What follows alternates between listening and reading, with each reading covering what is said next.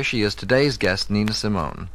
She's one of those rare artists who defies pigeonhole category descriptions. She sings, plays piano, writes, and has earned an avid following in the jazz and folk fields.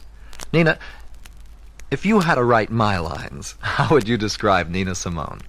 Oh, well, now.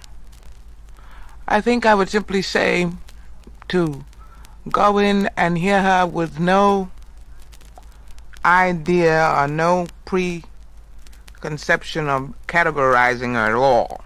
Just listen to her and see if you like all the types of music that she sings. Obviously, she sings every type of music that somehow is uh, meaningful to her and has nothing to do with categories. Because that's a pretty long introduction, but uh, that's what I would do. That's how I feel.